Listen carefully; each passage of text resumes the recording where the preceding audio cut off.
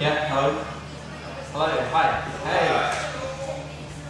So, bear with me. I did a talk last year at EMW and I was a bit nervous and I talked too quickly. Someone heckled me from the back, so back people, please feel free to do that if I talk too quickly. Um, so this is a kind of a story combined with a little bit of an explanation about a project that I'm going to be to install tomorrow. So it's kind of a little bit how I like to make some lessons learned, things like that. So I'm going to start with how I kind of got got there. So um, when I was at school, I was uh, really interested in electronics. I don't really know quite how I got into that. I used to, this is a primary school, I used to go to an adult evening class and do an electronics course. It was really basic. My dyslexia didn't really help, so I don't know how much I really learned, but it was enough to kind of to to have people my age that were interested in something. Um, and I guess it was a forerunner to Hackspaces and things we have now. Um, and then then I didn't really take that forward, saying, but I, I wasn't you know hugely successful at school um, in scientific areas and things like that. So I was more creative, more design based. So when I went to college, I studied graphic design. And then again at university, I studied something that was kind of hybrid, graphic design and media, which was because I was kind of thinking I might, I might study, I might want to become a web designer, which turned out to be, for me anyway, the most uninteresting thing ever. Um, but um, whilst I was there, I started experimenting and going back to this kind of idea of, of playing around with electronic stuff. Um, I discovered Instructables.com and I started looking up how to do stuff. This was really before Arduino was really kind of kicking off, and so it wasn't immediately obvious which microcontroller I should use. So I, by coincidence, used a, an Atmel chip, a, a simpler one, an 80 tiny chip, and I made a, a little traffic light controller using some instructions, and then reposted that, and that kind of gave me the kick, I guess, to really want to keep doing this again and again. Um, and so about a year later, I took part in a beginner's Arduino workshop. Um, this is 2008 by the looks it. And around the same time, I went to the Museum of Modern Art in New York, and that's where I kind of, these things started to, the, the, the roots of the story that I'm going to tell you come from. So, since then, I've graduated, done a master's, and all along I've been doing things that I should be doing, but also doing these other kind of distractions, if you like. Um, one of the things I saw at the Museum of Modern Art was um, one of these old-fashioned departure boards that you see at an airport or a train station. And there was something about it that kind of really latched on for me, and I wanted to make one. So I asked the company that made them, that I researched and found out how much it would cost to make 140 of them, perhaps for a Twitter display, and they, they said about 40,000 euros for this particular one, um, plus that. so that was, um, yeah, that wasn't going to happen. But you can kind of see that, that blurry picture the guy just took on his way to responding my email was, um, was enough to kind of sort of set something in motion in my head that I wanted to do. And kind of crazily, this was in my final year at university. Um, I decided to try and make the whole thing myself, which was ludicrous. I had no idea how I was going to do it, but I guess uh, being naive about how complicated this problem was going to be, I actually decided that I could achieve it. And well, I achieved one. uh, one that didn't really work, as you can see, that's a servo motor on the side. And anyone that uh, knows electronics will know that that's not likely to really work. Um, it had been hacked for continuous rotation, and if you start to think about it, you could never fit enough letters side by side and probably an Arduino glued on the top of Bluetooth isn't the best way forwards. But it introduced me to ideas.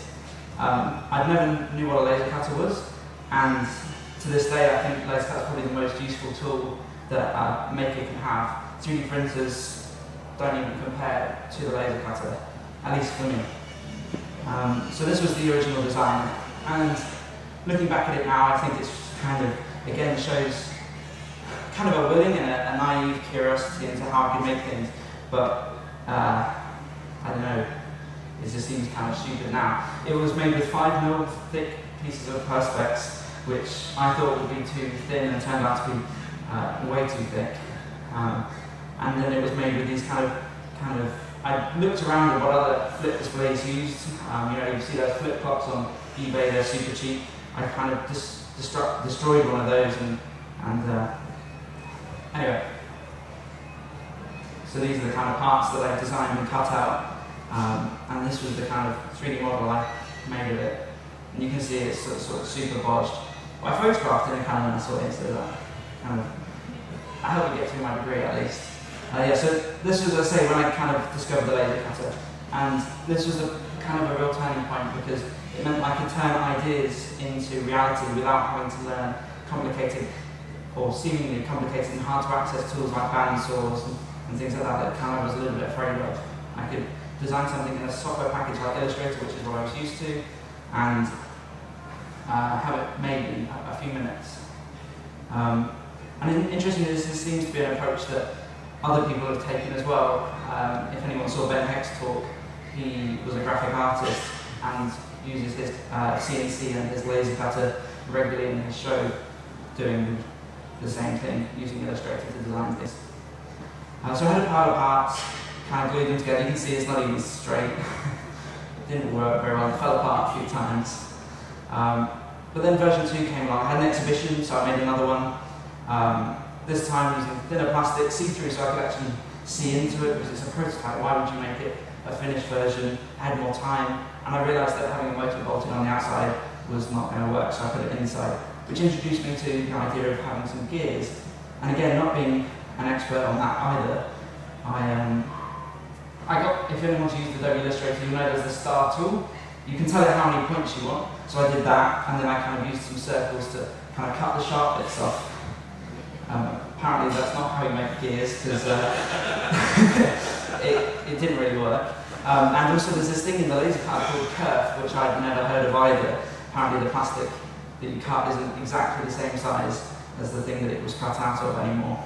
So yeah, and super glue is not a very good plastic uh, glue either, as you can see. It kind of frosted all the plastic, which is an interesting effect.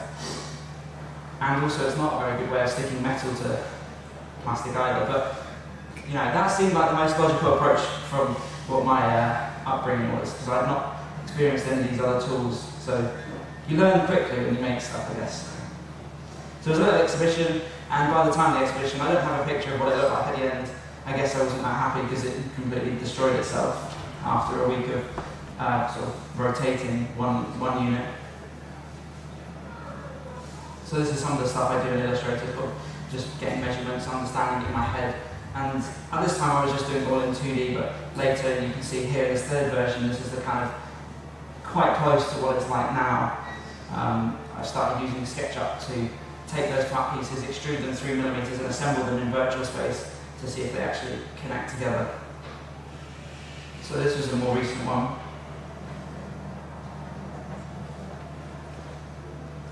And so to connect those gears, I, I, there's a, a chap called Matthias Wendel who um, he's a Canadian chap who does a lot of woodwork. He has created a piece of software that actually creates proper gears. And so if you're ever looking to make some laser cut gears, I think there's something built into Inkscape or his, his little package is $20. So this is using some proper gears and um, an aluminium mounting hub to give it a really good strong fix to the motor. So that was something I learned. I also learned that kind of the way this whole thing works is you've got two circular discs uh, which rotate on an axle, um, a set mount to kind of flip forward so many units, and we'll see that right at the end. Um, that they would sort of twist in different ways to each other, so they would kind of fall out because of this, because they're not kept completely parallel at all times. So I designed this um, this kind of unit that would uh, hold them exactly the, the correct distance and prevent them twisting. Um, so this is the most recent version. So throughout this, I've been blogging quite a lot on my own blog um, about what uh, what other people have done in the past. A lot of people have found, especially in Europe, old units and taken them apart and uh, tried to figure out how to re reverse engineer them. So been blogging a lot. So I've kind of my blog's become one of the main things you go to if you search online for split flap displays or something of this type. So it's kind of an archive of what I've been doing, but what other people have. And as a result, um, people email me a couple of times a week sometimes uh, asking, where can I buy these? Can you make one for me? Da, da, da, da. So I kind of cornered the market on, on uh, homebrew split flap departure boards, um, if that's the thing. Uh, yeah, so the company um, came to me about two months ago, as they regularly do, saying, can you make this? And it turned out for, the, for a change they were based in London, which is where I am. So I was actually able to go and meet them and have a chat. And I'd been intending to work on the project a bit over the summer, so I thought this would be a good opportunity to actually see if it went anywhere, because in the past it's never really has. But uh, it did, and so this Sunday I'm going to be leaving here early, unfortunately, to go do some work um, to put 10 of these into a shop window on Regent Street for the uh, Royal Institute, Institution of British Architects Windows. It's a kind of an annual event where they commission architects to create shop windows and they commissioned me in turn to build these. So this is just some fancy renders that we did for the client. If anyone's interested in how this actually works, I'll explain But when I've done the talk in the past on my, on my own, it's always run over, so I don't want to spend too much time. I do want to talk a little bit about how it worked on this though. I kind of broke things down into modules. So there was the hardware side, the mechanical side you see here, and then there was the kind of electronics and the software. And so I was kind of working on these all in parallel. And so the hardest challenge was the hardware because it's what I'm least used to. And kind of coming from that web design background, I had a big grasp of the programming, but the electronics has also been a challenge. And I think I made a really smart decision in trying to break it down. This is a really old drawing I did um, quite early on where I had this idea of having essentially a microcontroller on every single unit rather than having to control, as the old-fashioned ones would have done, maybe a whole row of 15 or 20 at a time, um, which keeps the kind of complexity of the code quite simple.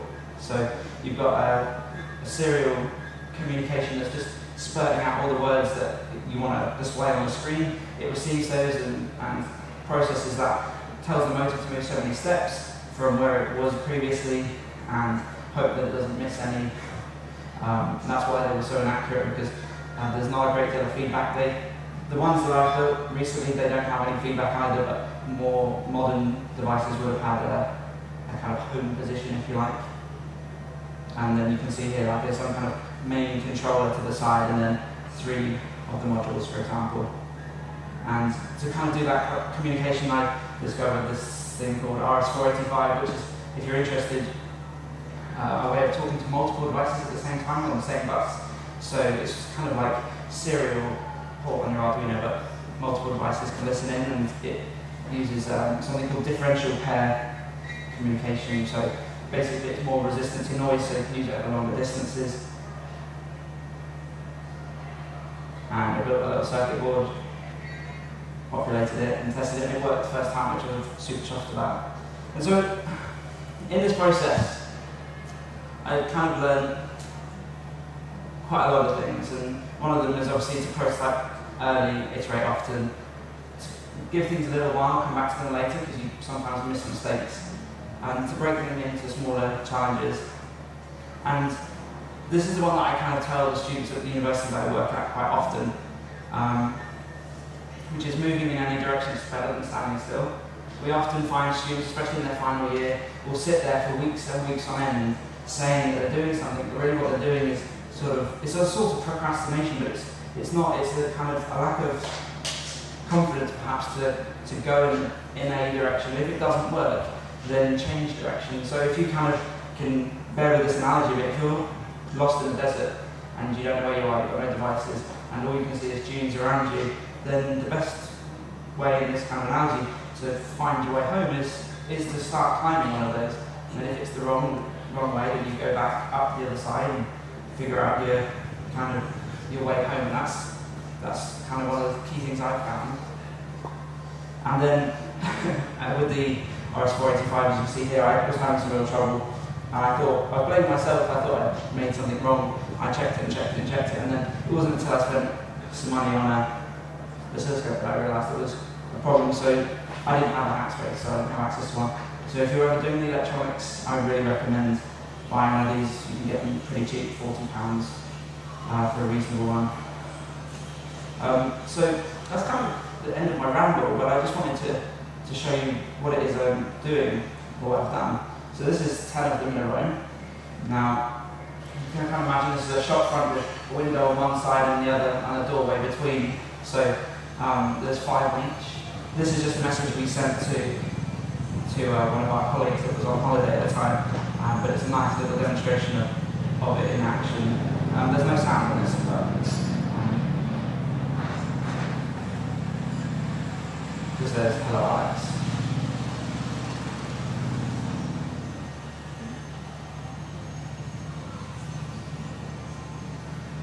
It's a little bit tedious. Is it working? There wasn't enough characters, obviously. Um, enjoy your holiday. Tom and Chi.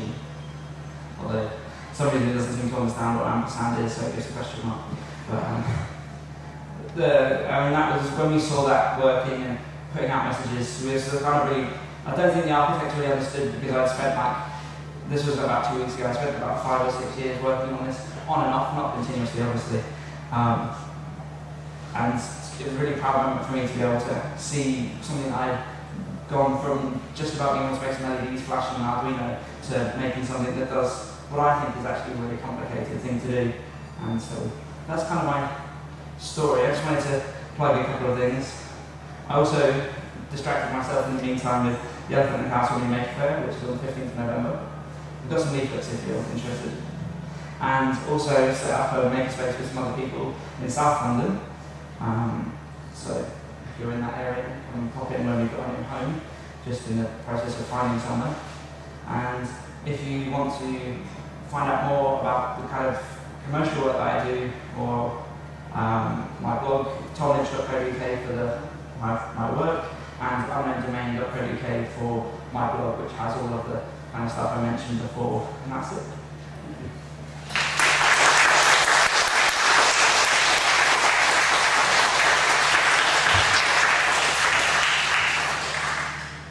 Does anybody have any questions? If you do, uh, stick up your hands and I'll get you on the mic. And then, oh, we've got one over here.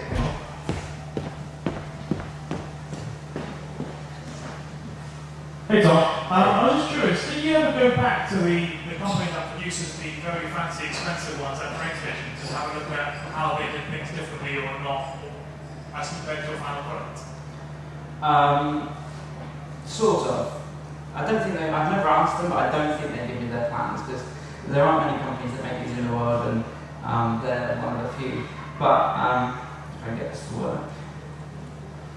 Uh, my blog has been kind of a really ongoing documentary. Some of it's been stuff that I found. Mean, I won't bother actually right now. But um, I've kind of become known amongst my circle of friends for this particular project. And people think I'm a little obsessed, maybe, but um, they often point out when they see things. So um, one of my housemates, for example, uh, went to a bar in London and saw an old one, took a picture and emailed it to me straight away. Um, when I was on holiday in Belgrade, um, they had uh, a, a, lot of those around, and some of them were kind of damaged, so you could sort of see and peek inside. So um, I've seen inside their displays through kind of roundabout incidents, and if anyone's ever been to Brighton Station, they may or may not have noticed that there used to be one there, and that was taken down last summer, and I got a good chance to have a kind of closer look when that was taken down. Um, it's currently stored in someone's yard, being, I think, renovated for a, a kind of uh, train spotters type thing, whatever. Um, but anyway, um, so yeah, I've seen inside of them enough to be able to kind of be inspired and look at them. So yeah, through sort of looking at the images of them, I can kind of see different ways in which you could do these things. So yeah, um, references be useful. Any other questions? Oh, we've got one here. Uh, two questions. First one, have you tried finding the second-hand displays? Yeah, um, again, kind of going back to the, the, the one in Brighton I've been pursuing for about a year and a half with, um, I think it was Southern or Southeastern, I forget, but whoever, um, and they kind of had agreed to let me have some of it, and then these other guys came along and they wanted to preserve the whole thing, so I kind of, between them, we kind of agreed that was fine, and I'll try and help them if I can, although I don't think my expertise really applies to restoring old ones, so Um, yes, I've looked. Um, I had an option for some from New York, but the cost, they didn't really want any money for them, but uh, shipping them, they're very heavy, even just for one of them. Um, wasn't really worth it. And they sent me a bunch of photos, so I kind of got what I needed to. And um, most of the ones you'll find just display destinations, they don't display letters.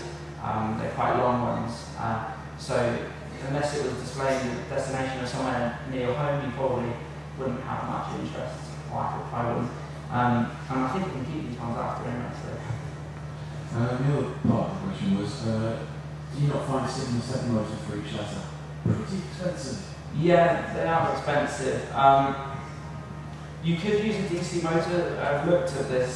Some of them do use DC motors. Some have used solenoids and a ratchet mechanism. Um, it is expensive, but I mean, these cost about £200 each to make, and that's just because of the inefficiencies of making it in the way it is made. It's made on a laser cutter with plastic. That's, all these things are quite expensive parts.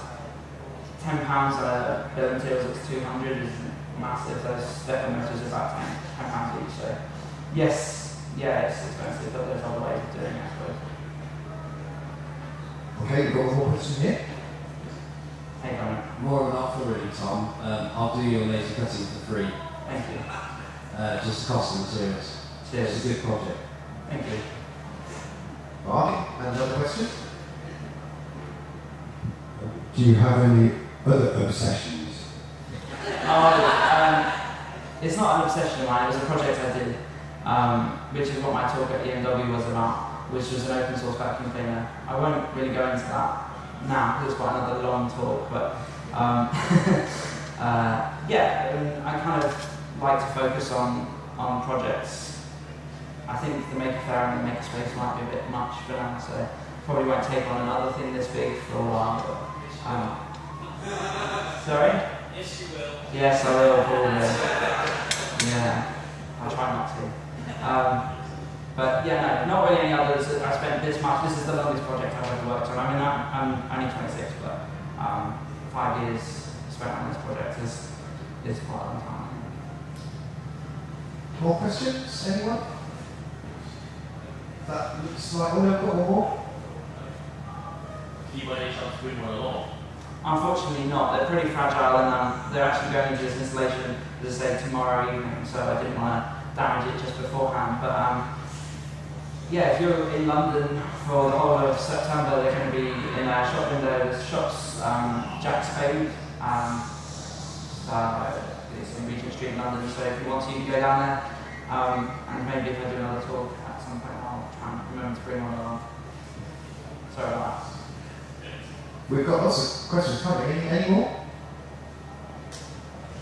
One No? Oh no, yeah, we have got one more.